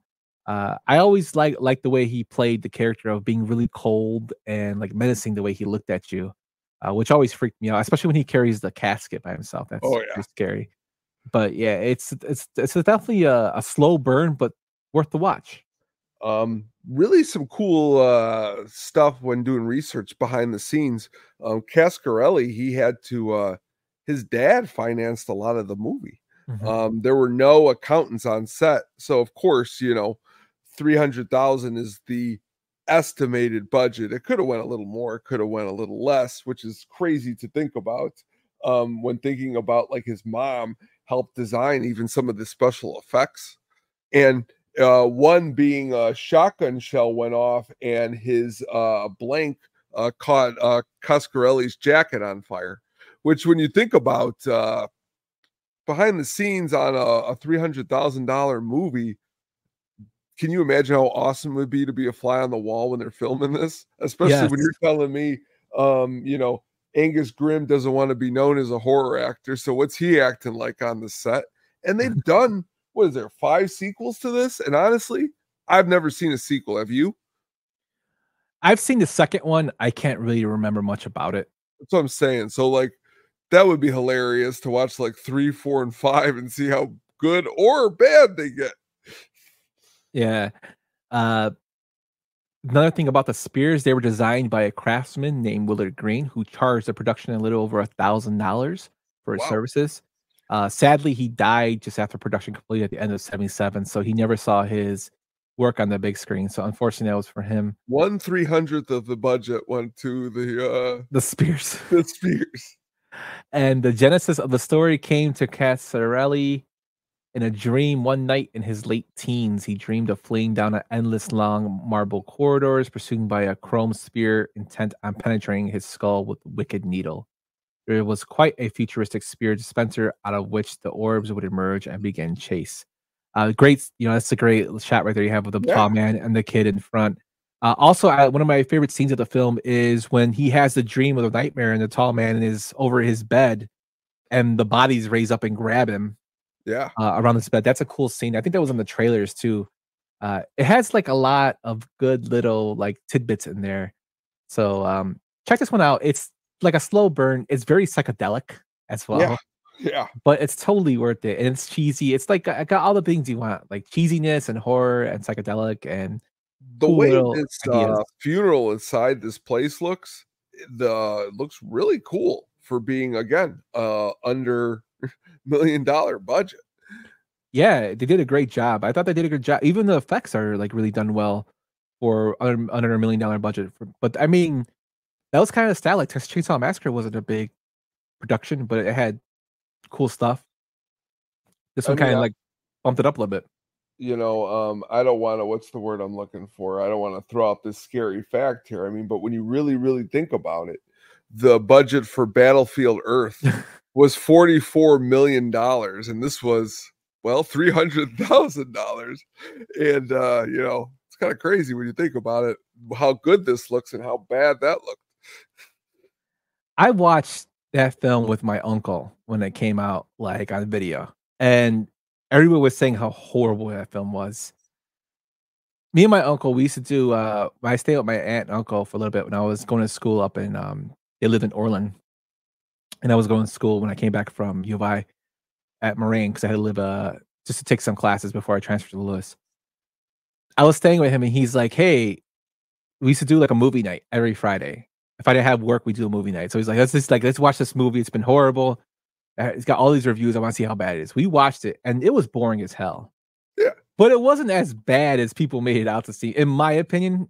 I'd like to actually watch it now because honestly, I've never really watched it. I've just always heard, and you know, I Travolta I watched a movie where he Fred Durst directed it, and he had he played. It was ridiculous. It was called The Fan or something. It came out a couple years ago. I'll watch him in anything. So I I could bet that it's not as bad as it is. I mean, if you we if you know you I almost spoke for myself had to sit through that new Crow. I mean, Battlefield Earth definitely. uh Yeah, I think uh Travolta's probably worst movie is you know when when he was big. It's probably uh the Gotti film.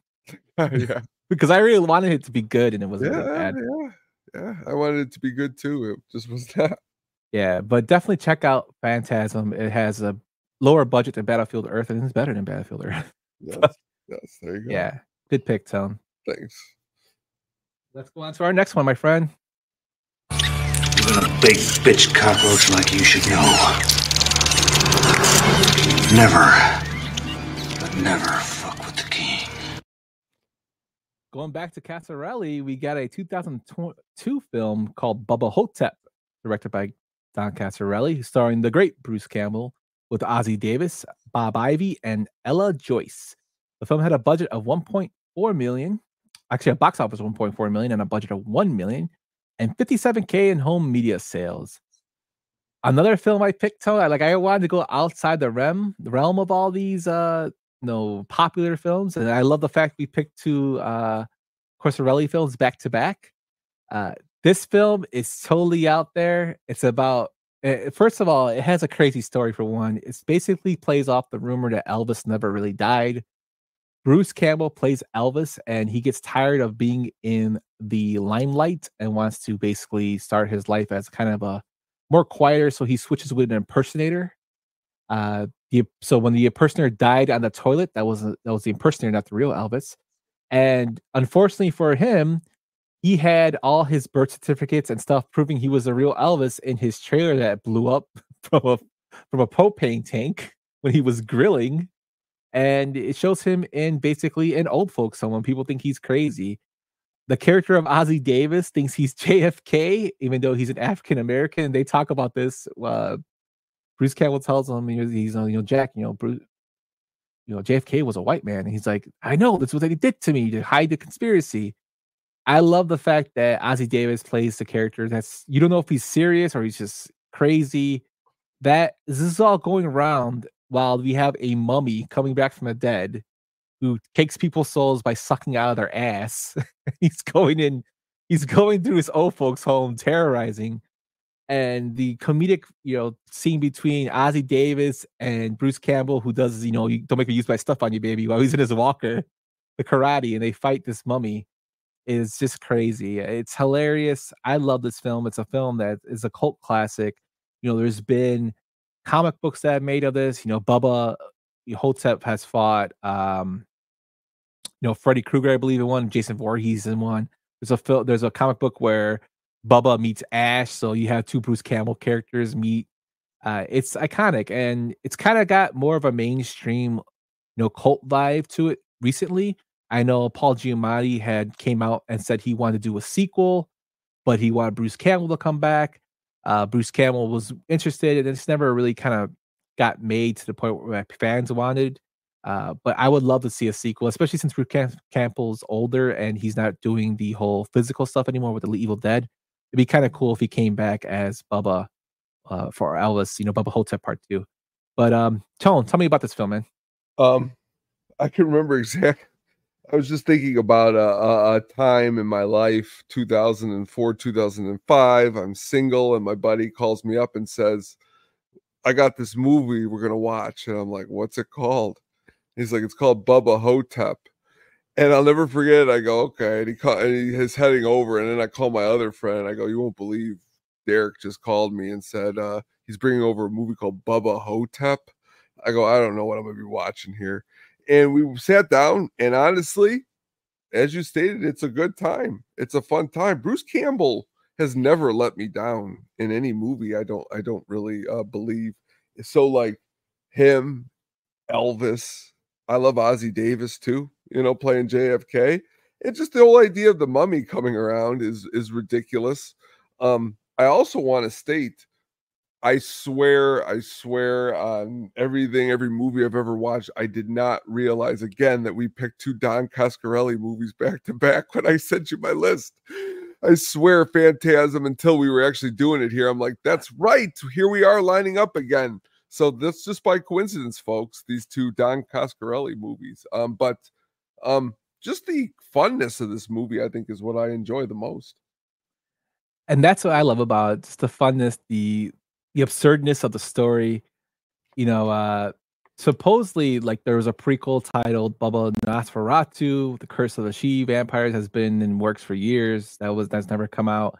Uh, before Bruce Campbell accepted the role of Elvis, he had one question for Don Coscarelli. He said, "Are you gonna have to show penis?" which, which is so random. But Bruce Campbell is known for being, uh, you know, out there with just random stuff. Another crazy thing I noticed too when I did research for this tone, because I've seen this film like a lot, is no Elvis music is played during this whole film. And I, I just realized like that's right. Like I don't ever remember hearing an Elvis song. And the reason was because of the licensing. They didn't have oh, the money for licensing. But it's crazy that you have Elvis in here and there's no Elvis music played. Yeah. Yeah. I mean, this is uh, always that problem with licensing. Licensing. Recently, they've they did a Jimi Hendrix biography with uh um Andre 3000 but they could get none of the licensing from the Hendrix Foundation. So it's just like him playing the guitar like not any Hendrix song but like just like cuz you can't do it. It's like Monster Squad. So like uh but I think for this one it works because it's like it adds to the is he crazy? Is he Elvis? Is he not because if Elvis music was playing all the time, it may make you believe more he actually was Elvis. Where in here, he's just telling a story like, well, Ossie Davis, maybe he's JFK. Yeah. One of the most iconic shots of this film was when they're when they're about to face the mummy whose name Bubba holds up, And they're about to face him, and they they roll up like he's in his walker, and Ossie Davis rolls up in his electric wheelchair. That always just cracks me up how they just come up. But yeah, definitely check this one out. It's a it's comedic. It's not really scary, but it has a lot of good one-liners in it. Uh, Bruce Campbell is the man, and Ossie Davis is the man. Check it out. It's worth your time. Believe me, you'll like this one if you haven't seen it. But awesome that we picked two Coscarelli films like back yeah, very awesome. And let's get into our final one, my friend. Hey, hey, you know that movie about the guy that's got like these superpowers and shit because of his hair. Then this bitch cuts his hair off and he gets weak. He gets like an ordinary guy. You know that movie? I'm better looking than the guy in that movie. Don't you think? Creepshow 2, released in 1987, directed by Michael Gornick, who did Stephen King's Golden Tales, along with other TV shows, one off episodes, starring George Kennedy, Lois Chiles, Dominic John, Tom Savini as the Creeper, Don Harvey, Dan Kamen, Dorothy Lamour, and Holt McCallany, who is Sam Whitemoon, who we just heard in the uh, opening. The film had a box office of 14 million, a budget of three and a half. I told Sam Whitemoon, me and my brother still quote Sam Whitemoon just for his like talk about his hair. That's that's even though Holt's not uh, native and we also like indigenous people playing those characters, like he gets a pass because they for most of the film that story they use indigenous characters, but he is just hilarious in that film. Uh, uh, that story, I'm sorry. Uh, tell me why you picked this one, my man. This hair is gonna get me paid and laid. we used to say that all the time. I mean, his character is um, amazing. That whole scene where he goes into that camera booth and he's like, "Look, look at that hair and the way he's like talking to the camera and honestly when i found out that that was him in Mindhunter i i literally i'll never forget that katie looked at me like i was insane because i was like that's him creep show too! That, but honestly let's get started. Um all three episodes i love them all three um and i love them all for different ways. George kennedy's great in the first episode along with holt but it's a classic cheesy scary movie i mean i've seen those those awesome cool uh you know, statues in front of stores before or in movies. What if one of them came to life and actually took apart these people who actually did harm to the the people who they were trying to harm? And I think that's what was cool about that first story. Yeah, is the statue a little cheesy as it moves? A little bit, but I think that's part of what the creep show fun is. It doesn't have to be 100% um, logical. Um, s- story two, The Raft. Uh, this one probably is my favorite of all the stories because I like a lot of the quotes in these stories. Uh, in story two, um, there's there's this scene where uh, I mean, i- i- every horror movie which you could talk about a lot and do a whole episode on somebody's always smoking uh smoking weed in, in every horror movie or weed is involved. In episode two when they're on the raft he's like trying to tell the one idiot buddy the one who's like the jerk jock he's like you know i think uh you know i think this is not good. This thing's been following us. And he's like mucho ecological pablo. Mucho ecological. It's just like the stupidest thing to say. Um just dumb um but excellent uh it does look like a garbage bag floating on the lake but it is very cool just the way i just don't understand how he wasn't able to outswim it that has always been a problem of mine and then of course i mean this one is you know everyone's favorite How you doing, lady? Thanks. Thanks for the ride. uh probably the very first in all of this Creepshow tales from the crypt the first thing that i remember seeing and it like stuck with me at probably a too young of an age because he just keeps coming back and uh also a great halloween costume dover you get the sign and you put the hat on i've, I've seen that before but i love this movie man i love it a lot it's crazy. Like, you know, Creepshow, the original, is such a classic. And again, this one doesn't get talked about enough because it's the sequel. But I mean, it's a different type of sequel. It's of course, it's Creepshow has the anthology film, but I think it's just as good. Uh, I like the original better personally, but this one is, you know, this one still holds up. It has three decent stories. Uh, I like the hitchhiker at the end. Uh, the Raft always cracked me up because it does look like a garbage bag. Uh, also, it has some random like when everybody's dying from this thing. The when the girl and the guy are on the raft, he decides he wants to get laid. like that makes no fucking sense to me. That part, because I'm like, oh yeah, like that's the first thing I'm thinking about. But I guess you know, the guy was horny and wanted to get laid. he lost his girlfriend too like Yeah. like, like that quickly He's like, oh, I'd rather just get laid if I'm gonna that die. would be the least thing I'd be thinking about. I mean, I could be on there with Nicole. I mean, Nicole. Uh, what's her name from uh, Margot Robbie from Yeah. uh, Wolf of Wall Street, and I'm like, still like, I gotta get out of here, man. there's a there's a bag floating. It's gonna kill us. yeah, but the ending to that story is awesome. Yeah, I love the ending to that. Uh, you know, and then the, Chief uh, the bag or the way the sign was blocked by the uh the weeds. Like I like the way that was cool. The way when the camera pans out, all of like- it. Yeah, the way it, the way it ends with him, it's like, oh, I beat you, and then it takes Yeah. him, and then the I way it, beat yeah, you. it Run him- more. I've watched that so many times. Go further up the beach. yeah, what the hell are you doing? Uh, the crazy thing is, when doing research for this tone, Arnold Schwarzenegger was rumored to have been considered for the role of old Chief Woodenhead, uh, who was the uh, killer in the first story. And like you said, these statues are all over. Most famously on 63rd and Pulaski, the ICU guy. Uh, it was featured in Wayne's World. If you ever seen Wayne's World, even though they're coming from uh, Aurora, that's nowhere near Aurora, but you see the tall indigenous person with the glasses of the ICU guy. Uh, imagine if that guy came to life and started busting up shit. Like, you know, this film has all like little cool little things in there. I thought the uh the stories were original and they were kind of cool in terms of uh, you know, they had different types of turns and twists in them. Uh and you know, Sam White White um Moon gets his fucking head cut hair cut off because he was obsessed with it.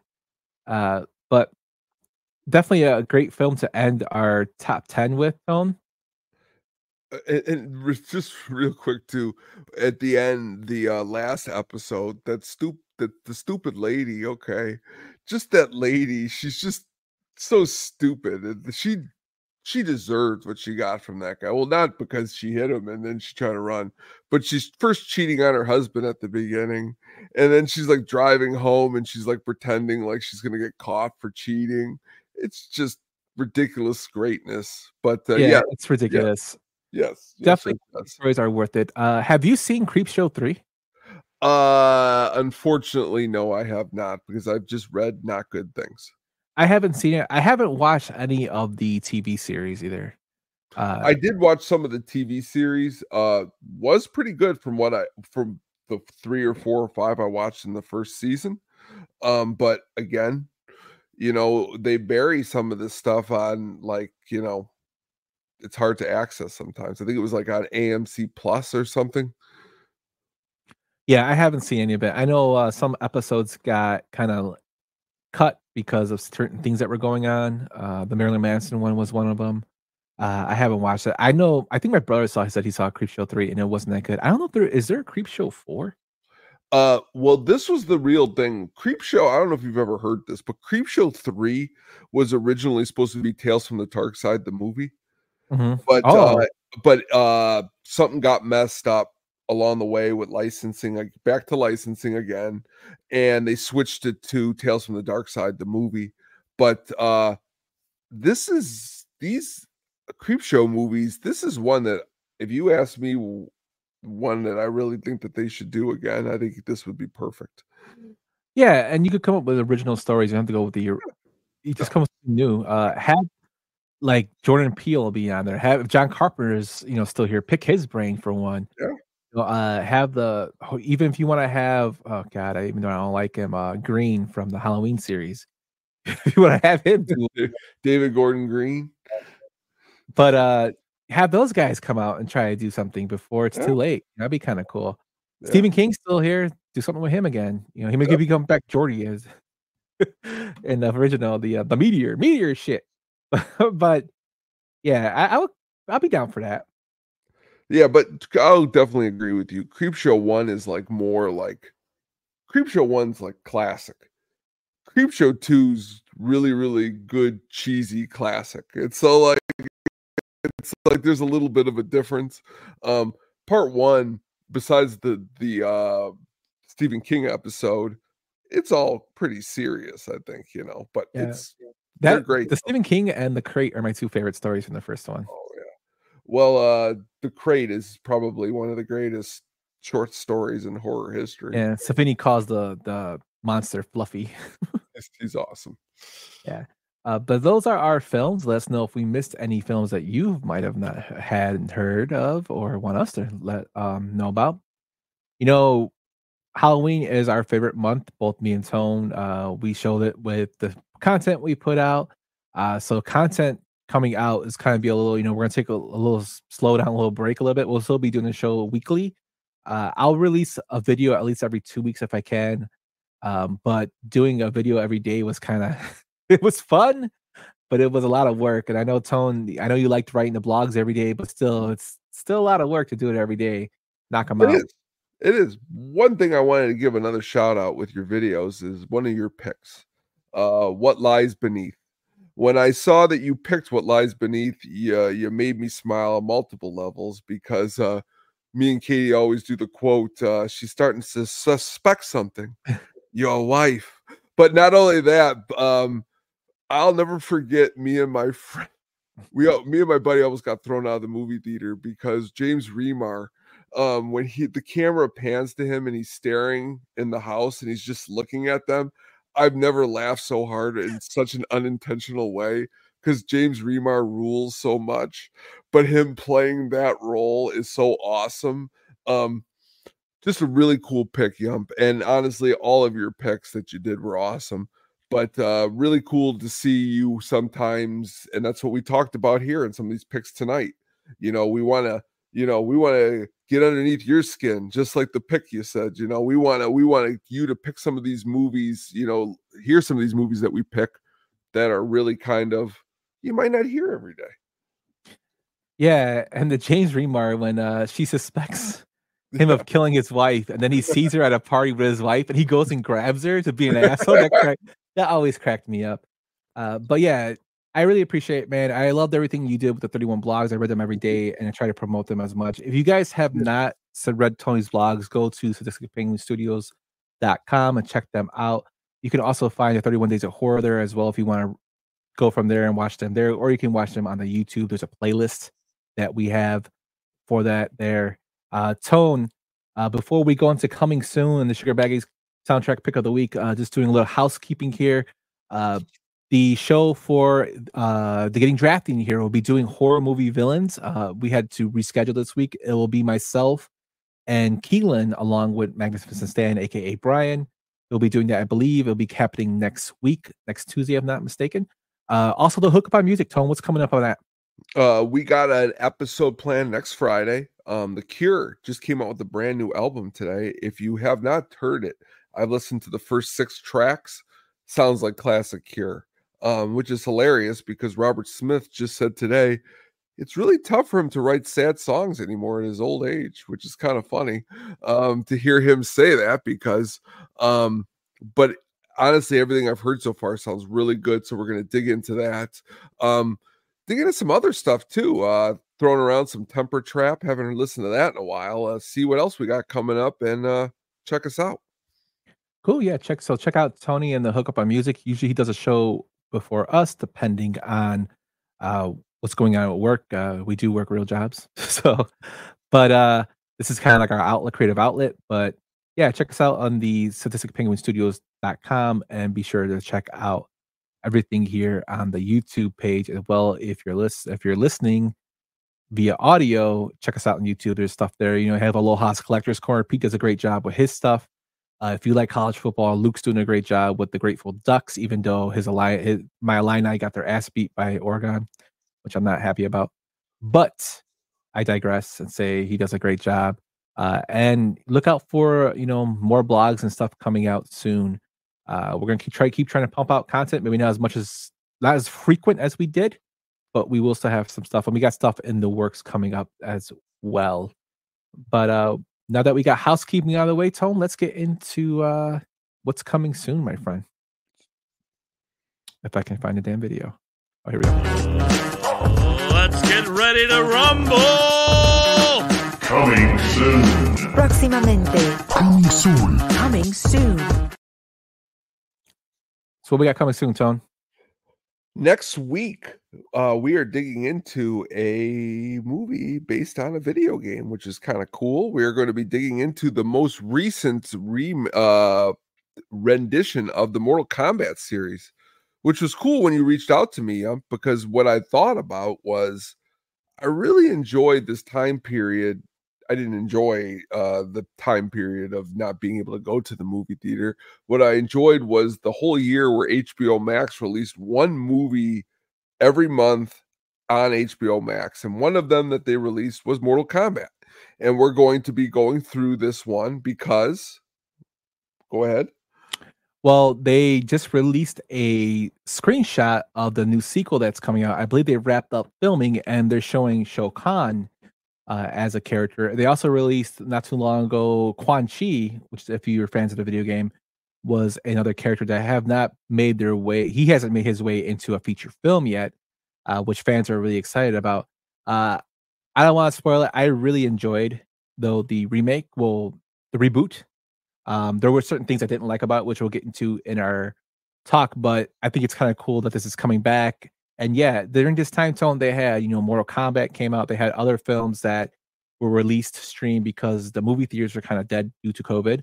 Um, I don't know if they're going to release this one again, the new one that comes out on stream, but I think it'll be at money. theater. It deserves to be in the theater, kind of like uh, what's that? The one with the Predator remake, the last one. Um, the Predator. What was it uh, called? I know what you're talking about. Um, oh, it was Prey. Prey. Prey. That deserved to be at the theater. I mean, Mortal Kombat did such a good job and was such a good movie that if it wasn't the COVID times, it would have been in the theater. So hopefully this one's in the, the theater. Yeah, and the next one actually will release in 2025 in October. I know that uh, Johnny Cage will be making experience uh, appearance in this one. Also, uh, follow the uh, creator Todd Garner, who does the producer. If you follow him on Twitter, he actually posts a lot of stuff, like little uh, Easter eggs from the new film, which is kind of cool. But I'm looking forward to it. Um, and we'll talk about this one next week. Something new for November, and then might go back to the old format. Might do another deep dive. Well, you never know. You gotta check out and see. Let's see. Can't wait. Yes, sir. Uh, maybe one day we'll do a uh, breakdown on the great movie with Raul Julia and Jean-Claude Van Damme. In Street oh Fighter. yes, yes, the one where the one where I'll never forget where my my my, my mom took me to a uh, a one o'clock showing at River Oaks, and she did not look happy when we were done. Like she wasted her time, and I was like, "But it's Street Fighter." Now I realize she did waste her time. You know, even though I'm not a huge fan of the Nostalgia Critic, he did a film called uh, with his other creators called Kickassia. And there's a part where he's dressed like Raul Julia's character of Bison. and he's talking about he's going against his character in Doctor Insano. It's it's a stupid concept. But he's like, how do you he's telling Dr. Insano's asking him, how do you how are you electric? And he goes into the same speech that Raul Julia does with it powers the uh, speed trains from Tokyo. And he's like, it also powers me. And he does that like face. Well, he does it in there and like it cuts back and forth and looks like he's floating, but and the guy calls him out. He's like, You're on your tippy toes. And he just but just like how iconic the performance of Julia has become because he is the definitely the best part of the whole movie. Oh yeah. Uh, also like yeah, underrated actor, great stage actor, and people hated the movie, but they praised him, which is kind of crazy. Like critics, I'm saying Ebert praised him for his acting in the film. Uh, but it's always great that uh, Jean-Claude Van Damme plays a character who's American and has a French accent. but I don't know. Again, we're going off another tangent, but that's why we we do this show. But yeah, be sure to check us out next week for the Mortal Kombat breakdown. Uh, Tone, let's not keep him waiting and let's get into your big segment of the Sugar Baggies soundtrack pick of the week, my friend. If I can find your, here you go. Here we go. The Sugar Baggies soundtrack pick of the week.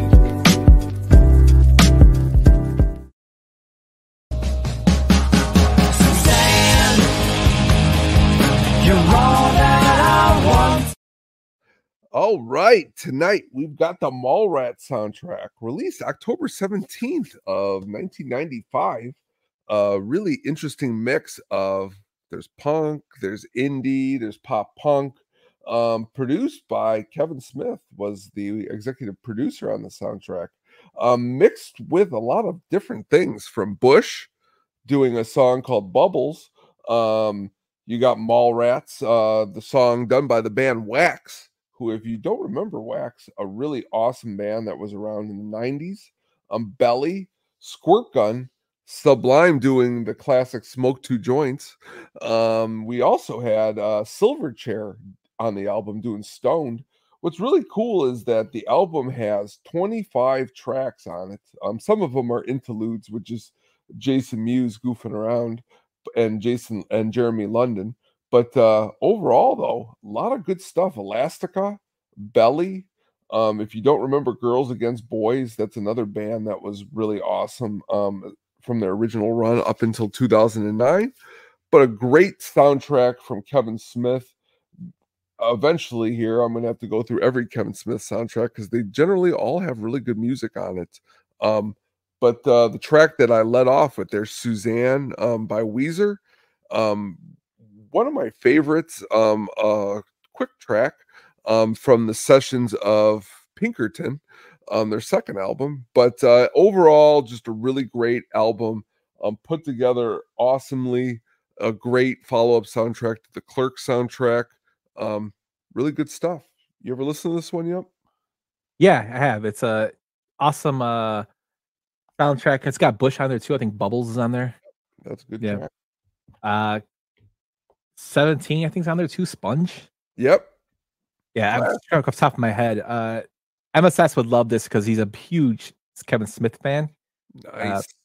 but definitely uh, another film that like cannot be made today, but I love it just for the so wackiness and out there and the uh, skewerverse that is uh Kevin Smith's world. yes. I uh, always love the uh, son of Jor-El, kneel before Zod. Yes. New cheese. But yeah, definitely a, a good pick, Tone. A good album, totally 90s, good bands in there. Uh, and it kind of like let off the um skewerverse. Like it kind of made that a, a big thing. Yeah, and what's crazy is is uh it only came out like uh it was in October 17th. So next year celebrating 30 years Mallrats already. Can you believe it? Yeah, it's crazy. Uh crazy stuff. I, I there was supposed to be a sequel, but I don't think it's ever gonna come out, especially with Shannen Doherty passing away. Uh but um I always two things that always stick out about Mallrats is the chocolate covered pretzel, my mind, and Jaws, the ride. that was whenever I think of Mallrats, I think of those two things. Uh, but definitely, definitely uh, worth the watch, and I love to listen, man. Great, great pick. Thank you. Thank you very much. So that is our episode for this week. Thank you so much for joining us. I hope we uh, met your standards on top of horror movies that we've watched and talked about for the month of October. Again, we'll be going deep diving into Mortal Kombat. Uh, we got some other stuff planned for the month of November. Uh, be sure to check us out on Studios.com for our blogs and stuff that we mentioned earlier. And just want to say thank you for everyone that watched, listened, uh, comments, tweets at us or any conversation, whether it's with the At the Pod Show Twitter account or our personal accounts. Talk movies. We're always open to talk movies. Tony's always open to talk music. Uh, we're mostly, uh, you know, anything you want to talk in terms of entertainment, we're whatever talk to you guys. Thank you so much. Without you guys, we wouldn't be doing this because people actually listen to what we're doing. Uh, and we hope we are um, supplying the entertainment for everyone. Um, thanks again. And Tone, any closing words, my friend? Uh, everyone out there. Um, very excited to continue this journey with you. Um, tonight was our 35th episode um, of the season. Yeah, we only got a couple more, and we've beaten the last three episodes uh, for the past uh, couple seasons. So it's going to be good stuff. Yeah, this is actually 36, episode 36. Oh, jump! I didn't want to correct you, but if you go to our um, playlist and count them, there are only 35 there. We, you were wrong for a couple episodes, and I never corrected. Oh you. my God.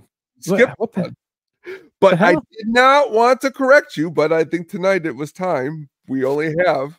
I do would, but you know what, Yump? I wanted to tell you if you ever want to do like a secret one, and we could do like a secret episode that we never really did, but like count it, we could do that too. Son of a bitch. I have a. I'm looking at my list because I have a. Uh, you know, peek behind the curtain here, as Lonan like to say. I have a hard drive for all our stuff we do for pods and all that stuff, and I'm looking at, and I did skip a number. You know what? No, you did it like seven episodes, and I'm like, you know what? I don't know what to do. And you know what? For seven episodes, I actually in my notebook skipped to number two, and then I'm like, you know what? We got to be honest, Yump. We got we we can't because just think of it, Yump. Four more, and we've beaten the last Three years. seasons. Yes. Yeah, so I see got- it. I skipped. Um, you know, it's probably because it was my son's birthday. The July episode, the 19th, was the 21st, Yeah. and the 29th, and then after the 29th, I said episode 24 on the list here. Son of a gun. But okay, so we're at episode 35. But yeah, we're gonna keep trucking. We're gonna hit that, uh, try to hit that 100 mark within the next half year coming up and then beyond.